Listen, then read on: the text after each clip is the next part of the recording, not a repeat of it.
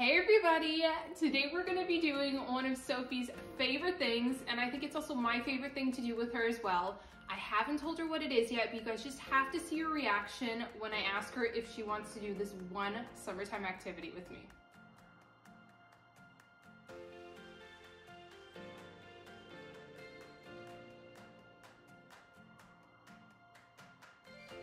Hey Sophie, do you want to go for a bike ride?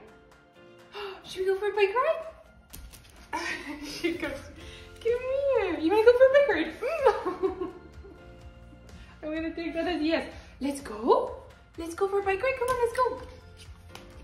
I've been really looking forward to showing you guys one of our top favorite summer activities, and I really want you guys to see what Sophie does on her bike rides. To get ready, I have to put on Sophie's step-in harness. This harness is perfect for securing her into her bike basket, which I've added some extra features to in order to ensure that she's securely attached, which you guys will soon see. Sophie, are we gonna go for a bike ride?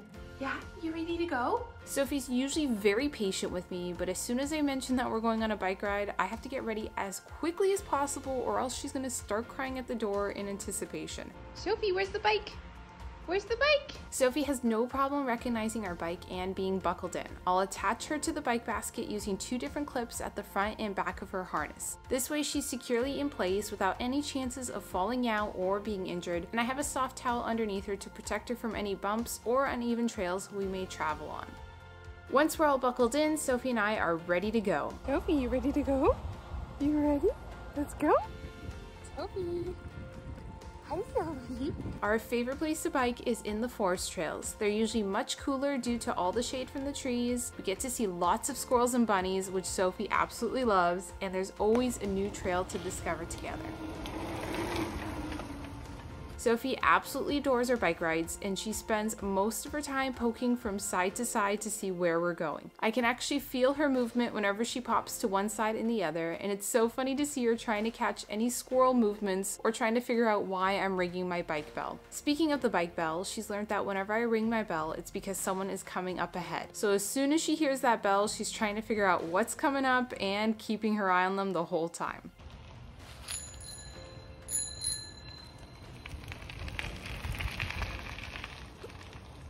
It's honestly amazing being able to do this with Sophie and enjoying the nice weather together. I don't know how I ended up with a puppy who loves bike rides as much as I do, but it makes me wonder what other outdoor activity we should try next together. While I'm biking, I also love hearing people's reactions and excitement whenever we pass by anyone in the trails. They're always so surprised to see that I have a puppy going on a bike ride with me. Filming this video was so much fun, especially because I get to see what Sophie does while I'm busy pedaling away. I want to give a special shout out to my sister who helped me film and capture all of Sophie's cuteness because I wouldn't be able to on my own. Let's just take a moment to appreciate Sophie's peekaboo while I'm pedaling. She goes from the right to the left and then from the left to the right and she'll repeat that the whole way through. I honestly wonder if her neck gets tired after all that back and forth. What do you guys think? I really do hope you guys enjoyed watching Sophie go for a bike ride. Let me know if you want to see a follow-up video on how I get Sophie used to the bike or the equipment I use or any other requests. If you enjoyed our video, please give it a like and if you haven't already, don't forget to subscribe so you can see more and support our channel. Thanks so much for watching and we'll see you next time. Bye guys!